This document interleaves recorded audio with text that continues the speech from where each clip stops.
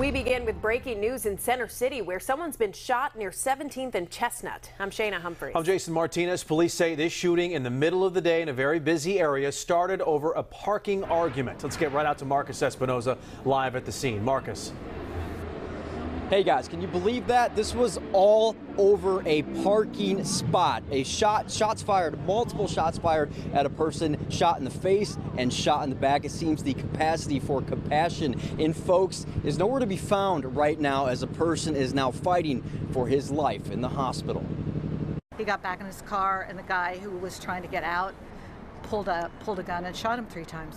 Gunshots in broad daylight in the middle of Center City, Philadelphia at 17th and Chestnut just before 2 p.m. An altercation over a simple parking spot turns violent. They were legally parked in a parking space parallel to the businesses, and then the, as we all know, with Uber Eats and all these other services, they're pulling up double parking that seemed to create the conflict. Captain John Walker with PPD says the victim is the food delivery driver who instigated the fight to begin with.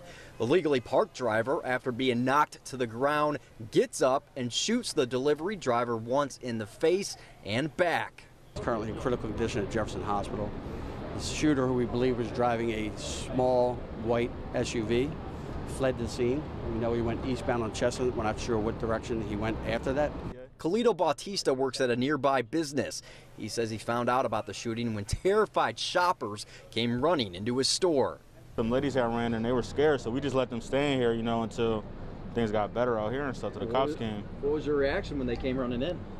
I, I, didn't know what they were running from. I thought somebody was chasing them or something. Eyewitness Elizabeth Armour says cooler heads should have come out on top. It wasn't even a parking space. The guy was double parked beside him double parked beside him, didn't want to pull up 10 feet so the guy could get out of the parking thing.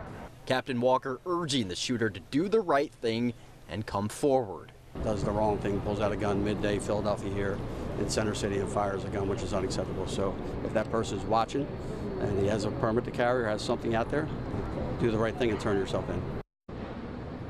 And Shayna, I want to highlight a Good Samaritan that has not yet been identified because they didn't want to be identified. When the victim was shot in the face, they were bleeding so profusely that they ran out of their car to get away. They ran into this Good Samaritan who put them in their car. That Good Samaritan drove to Broad where they found a police officer. That victim was then transported into the police officer's car and taken to Jefferson Hospital. So a Good Samaritan stepping up for a complete stranger. All of this happening because somebody wouldn't move 10 feet up or 10 feet back back because of a parking spot, and now there's a shooting victim in the middle of Center City today. Just so not worth it. Such an ugly situation on a beautiful day. Thank you, Marcus.